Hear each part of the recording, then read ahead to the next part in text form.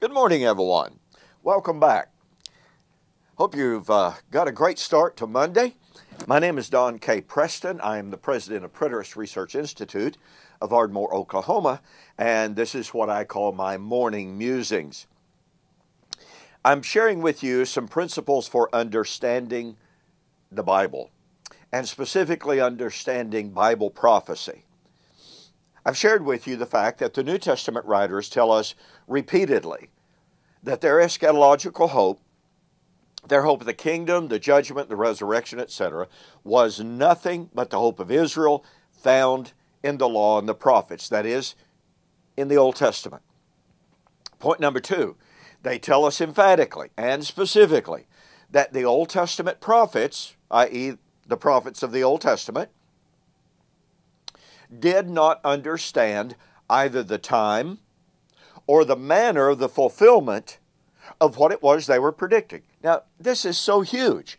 In my recent debate with Dr. Michael Brown, he kept saying if language means anything, if words mean anything, then when we read those Old Testament prophets, we know exactly what it was they were predicting. Land means land, temple means temple, sacrifices must mean sacrifices, etc., etc. But that's not true. The Old Testament prophets, when they predicted the return to the land, the temple, the priesthood, did not understand what it was they were predicting. Point number three the New Testament writers tell us that they, pardon me, through the Holy Spirit were revealing the true meaning of those Old Testament prophets. Point number four, they tell us they, the New Testament writers, were living in the very time foretold by those Old Testament prophets. Point number five, they tell us that through the Holy Spirit, they were interpreting those Old Testament prophets. I don't know of a more powerful example of this than Isaiah 49 and the application of it by the Apostle Paul. Now, Isaiah 49 is an absolutely incredible text. I don't have time this morning to develop it, but I want you to know, and I want you to note Isaiah 49, verse 6. It is too small of a thing that you should be my servant to raise up the tribes of Jacob, all 12 tribes, and to restore the preserved ones of Israel, the remnant. I will also, in addition to the salvation of Israel, I will give you as a light to the Gentiles. Now, I've heard it argued that this is Hebrew parallelism and the salvation of the Gentiles is the same as the salvation of Israel? No, it is not a Hebrew parallelism. Anyone making that claim is simply uneducated. They're ignorant of Hebrew parallelism. Okay? I don't mean to be unkind. That is simply a bald faced falsehood.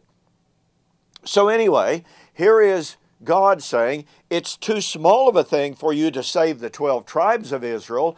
I will also, in addition to saving the 12 tribes, make you a light to the Gentiles that you should be my salvation to the ends of the earth. Now, watch this. In this day of salvation, the day of salvation for all 12 tribes as well as the nations, thus says the Lord, in an acceptable time I have heard you. In the day of salvation I have helped you.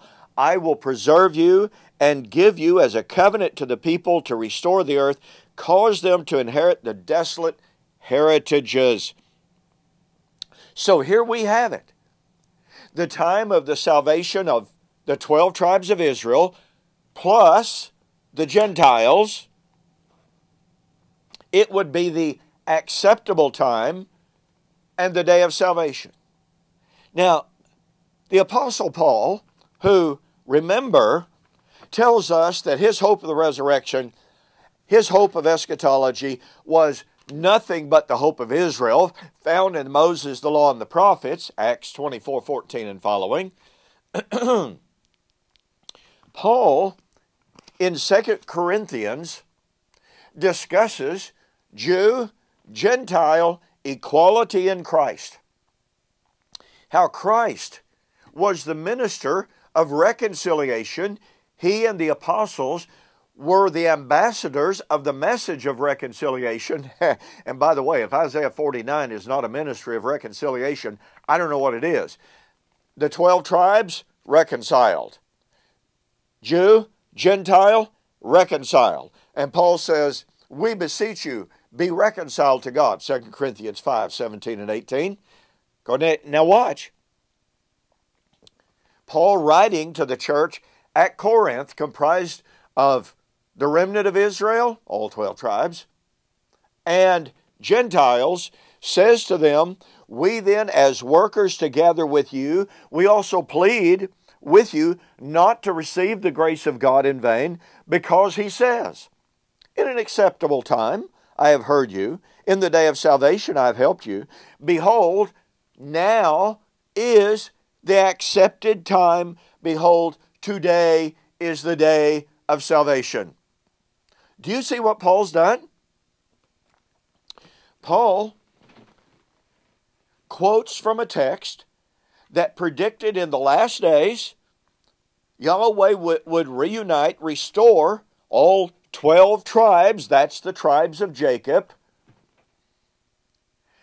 bring in the Gentiles, and it would be done in the day of salvation. And Paul says, I preach that message of reconciliation, and today, that's Paul's today.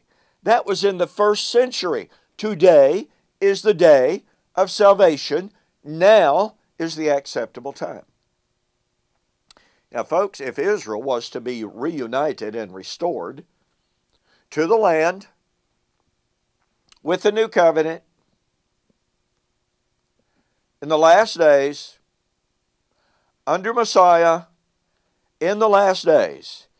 And if Paul, who said his one hope, his gospel, was nothing but the hope of Israel found in those Old Testament texts, and Paul says today, his today, was the time that that Old Testament prophecy of the restoration of Israel was being fulfilled, then Paul was either right or he was wrong.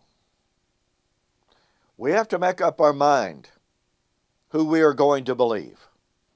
Was Paul wrong to say that the time foretold by Isaiah for the restoration of Israel, to say that time had come and the restoration was taking place in Christ? Wow. We'll have more to say about this. You don't want to miss what we have to say on the flip side. Hey, look, be sure to visit my websites. Don't forget to visit or to register for the Preterist Pilgrim Weekend 2014 coming up July 17th through the 19th. We want to see you here. It's going to be a great time. We'll see you on the flip side. You have a great day.